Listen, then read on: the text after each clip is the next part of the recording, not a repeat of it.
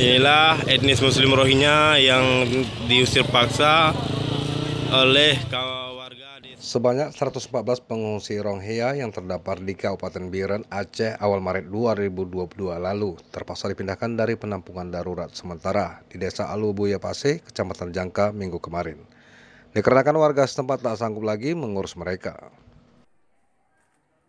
Amatan dari berbagai pemberitaan media diduga UNCR, IOM, dan lembaga terkait lainnya terkesan lamban dan hanya memberi janji kepada warga soal pemindahan pengungsi tersebut.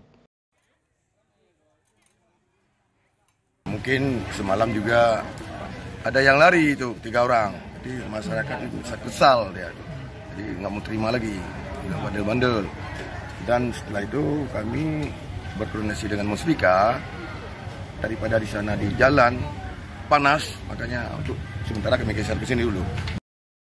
Sebelumnya, Satuan Tugas Penanganan Pengungsi Luar Negeri Satgas PPLN diketahui telah mengeluarkan surat rekomendasi pada tanggal 8 dan 16 Maret 2022 lalu untuk memindahkan para pengungsi yang berada di Kabupaten Biren ke Pekanbaru.